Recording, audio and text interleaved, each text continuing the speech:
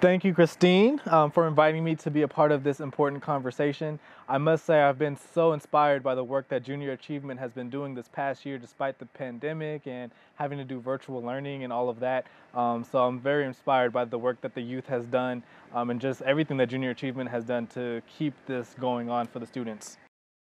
So let's meet our Junior Achievement ambassadors um, who are here to tell their stories. We have Sam, who is a senior about to graduate. And if I'm reading this right, you will be attending Stanford University, right? Yep. Woo! Next, we have Ja'Lani, who is a junior attending school in South San Francisco. And I was reading your LinkedIn, and it looks like you have more accomplishments than a 40 year old. So, congratulations to you. And last but not least, Karan.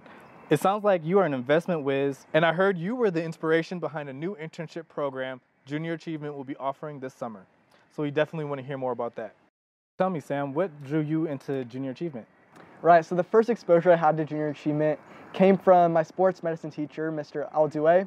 Um, he told me about a Young Healers program that was partnered um, with uh, John Muir Health and Junior Achievement, and I just jumped at that opportunity. Um, it was right in the beginning of COVID, so I was super impressed how the team really made that into a virtual experience for us. And I learned so much about who I, um, who I am and what my interests are in the health field, and also sparked my interest in public health. And how about you, Ja'Lani? My teacher advised um, a few students and I to go into Junior Achievements Company Program. Um, I I went into it thinking that I didn't really know about entrepreneurship. I didn't really know about financial literacy. So I thought it was a good opportunity to learn more about it. And I went in their 24 week program and I learned so much about myself, my strengths, and what entrepreneurship is and how to be a leader in your community. And you, Karan? I think the main thing that drew me to JA was their financial literacy pillar. Um, I'm a big advocate for teaching everybody about financial literacy, personal finance, and investing. And I actually participated in uh, the JA National Stock Market Challenge, uh, in which my team came fourth with around 29% returns in 60 days. So that financial literacy aspect and investing into the future was what really drew me in. What were some of the highs and lows for you during the pandemic, and what changes were you forced to make? I think right at the beginning of COVID on March 13th, I was expecting a two week break from school, be right back in it about a year and a half. Um, as we know, that didn't go to plan. and we're still feeling those effects today. I'm still doing the hybrid model for school. I'm in person a little bit, but I definitely had to make a lot of changes. Um, one of them being is what I learned. Um, in a traditional experience, I'd be learning about math, um, social sciences, history, all that sort. But I really had to take that educational experience and uh, just accustom it to what I want to learn because um, I really didn't have that formal instruction. Um, so one of the main things I learned was how many um, systemic issues there were and how COVID exposed all of those issues, especially, especially mortality and um, socioeconomic disparities, and how health medicine can um, help uh, appease some of those issues that are really prevalent in society. In your opinion, what are the benefits of virtual learning experiences? Let's start with you, Ja'Lani. To pick out what was very beneficial from the virtual experience, um, you have to have a positive mindset on what came out. So initially I didn't know about LinkedIn, I didn't know about these social networks that were available to people and it wasn't to just specific um, age ranges. It could be also for high school students, people who wanted to um, spread their network. And once I discovered LinkedIn, I took advantage of it and really started communicating to people, asking questions, becoming curious in different aspects of society. Are your friends involved in junior achievement? And if not, what can we do to get more students involved? JA really meets a specific need within the educational experience and that financial literacy. I know at my school there's only one personal finance section, um, I mean, it's really undervalued, um, especially by the administration and by the teachers. So I think getting more students into those programs that JA hosts, like the company program, uh, the Young Healers program, the stock market competition, I'm gonna really open students' eyes to what financial literacy means and how it's so beneficial to every student.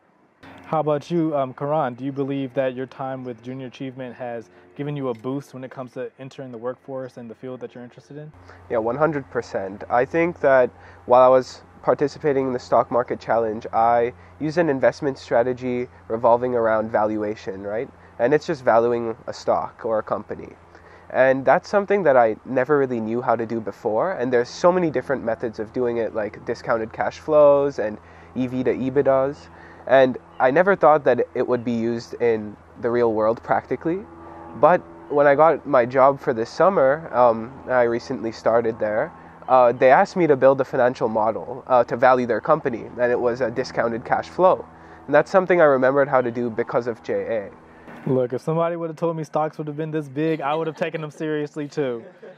Was there anybody in junior achievement that you met through the program that really turned on the light bulb for you and gave you some value that you're able to use now? Yeah, so I met Ruby through junior achievement, and she's been really instrumental into getting me in the company and kind of exper- letting me experience what junior achievement really is about. I've learned about your three pillars, of financial literacy being what I'm primarily focused on. How about you, Sam? Yeah, so this is a really easy question to answer. Um, Stacy and Rachel were the people who really they ran the Young Healers program, and I just admired how they transitioned from an in-person program to a virtual program so quickly. I'm um, especially working with John Muir Health and recruiting all these different um, professionals from across the nation. Um, we had speakers from New York, um, from all the way right here in the Bay Area. So I was just really um, just amazed at how quick they um, just ran the program and how organized they were. Nice. And how about you, Ja'Lani? In the Junior Achievements Company program, we were assisted um, with mentors from Tesla and Salesforce, um, Nelson and Anthony, and they really taught us as students to take risks because they were there to support us. And if we were to fall, that they were there to guide us out of it and really learn from the experiences. So it let us have an opportunity to really understand what our ideas were without the barrier and really discover what we wanted to do with our ideas with support knowing that they were going to be there. Tonight's theme is our unsung heroes. I want to ask you, who was an unsung hero in your life? It'd have to be Mr. Al Dewey. He's my sports medicine teacher. Um, in a normal year, like last year, I had the chance to work on the field, so I worked football games and clinic. I got to tape, I got to learn massage techniques, modalities. It was really cool. Uh, but now this year, obviously, it was all virtual, so we had to make do what, what we could do. Um, so we had a lot of projects for us. Um, he adapted a lot of the taping assignments into online, so that when we eventually got to the clinic this year, we had all those skills ready for us. If there was one thing that you learned through JA that made you a better student or person in general, um, what would it be? Don't take fear for granted. It can really push you to make yourself grow, and especially in JA, I had a lot of um, speaking opportunities. So I was able to be a keynote or um, talk in front of CNBC and ask questions that weren't asked before from a student. And having those opportunities, of course, I was nervous, I was scared, but fear stands for false um, evidence appearing real. So I really, really learned that and took that into action with JA, and I learned how to be confident and how to make my voice heard in society. So, Karan, I know you participated in the stock market challenge and you do all this investing. So, I want to know is the um, are the financial and business lessons you gained from junior achievement something you've experienced anywhere else when it comes to education? I think uh, definitely not. I've never learned about many of the investing techniques that are out there through any other means. And I know Sam mentioned that he had a personal finance class at his school, and my school doesn't even offer that. So, in my opinion, and and I'm a very big advocate of it, is is being and learning about personal finance. And those lessons you can't get anywhere, anywhere else other than JA. A whole year ago, before JA, um, I didn't know what financial literacy was. I feel like a lot of high school students also don't know what it is because they most of the time don't have to really under, need to understand it or people believe that. But Jay really taught us early on how to kind of negotiate, how to learn about financial literacy, um, making sure that we were asking the right questions, being curious. And in their programs, I was able to ask those questions and really learn one on one basis through their education and how they were teaching students. So Jay was very unique in that perspective, asking students what they needed and what they needed to learn for outside of school. For me, JA really taught me how to market myself and also market my ideas. Um, because I learned that you can have the best idea in the world, but it's how you market, how you present yourself that really um, sells the product. So for me, I had to create a sales pitch, I had to create a more attractive slide deck. And I learned that all from JA when I was presenting my Project Icarus idea um, to, to a panel of professionals in the workforce, in the healthcare field, um, in the banking field. Um, so that really helped me as a person and as a marketer. What opportunities are you looking forward to um, to come next to you in your journey?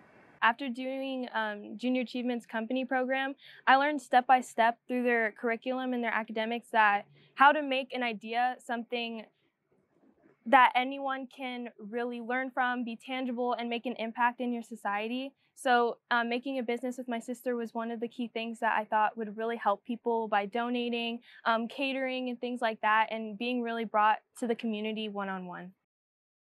Thank you all for meeting with, with me today. I can't wait to see what success lies in the future for each of you.